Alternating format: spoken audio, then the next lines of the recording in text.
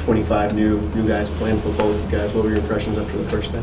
Um, I was excited because you know the, the the, the new guys that came in, you know, they competed. You know, they said they said little, they just competed. You know, and that's what we need when you got a lot of guys competing. You know, that's that's how you get better. You know, because you got a guy fighting for a spot and a guy trying to keep his spot. You know. Ken, talk about the move inside. Um, left guard. What what did Matt Mattox say to you about the move and your thoughts? Um, well, I, I, personally I like playing on the inside. Um, so basically, you know, I just went with it. You know, uh, whatever I can do to help my team. Um, I feel like I'm a better player on the inside, um, and uh, you know, I, I just I, I, love the inside. I love the trenches.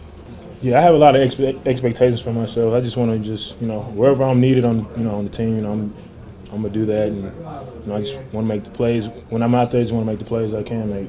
I know Charlie said that the depth at the linebacker is a little thin, but are you are you seeing a lot more depth on the rest of the roster? Yes, definitely. You can definitely see it. You know, with the O line and D line, we have depth everywhere. So, and then a lot of the guys who you know were freshmen last year and they got a year under their belt, so we have a lot more experience now. They know what to expect, stuff like that. So they're just ready to work.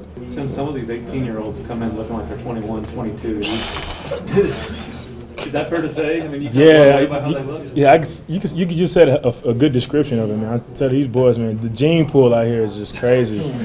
and blessed, blessed God. I'm happy they're here. Just say that. How does that change practice having all that depth? Um, I think you, you can get more out of practice just because no one's no one's tired. Just the, the, way the rotations go, like when you're out there, you know you're supposed to give it your all, just because you know you got someone else can come in next. So just make the most of it on the field. No taking any plays off. How was this first day compared to other years that tells you that things are elevating and this team's uh, got a different uh, attitude and mentality that uh, can live up to your words of uh, turning things around?